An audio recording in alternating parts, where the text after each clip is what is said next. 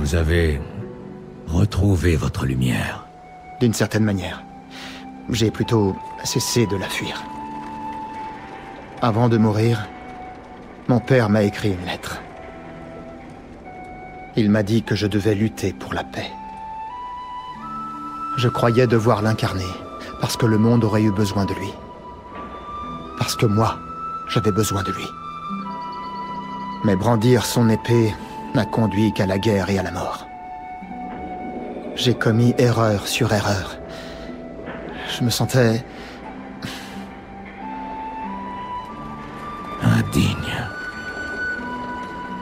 Varian Vryn était un guerrier farouche et fier. Je respectais sa force. Mais vous, Anduin, vous avez votre propre force. Plus que n'importe quelle épée. Je ne suis pas mon père. Mais il n'a jamais voulu que je le sois. C'est pourquoi il a écrit cette lettre. Pour me rappeler qui je suis. C'était son ultime leçon. Et son plus beau cadeau.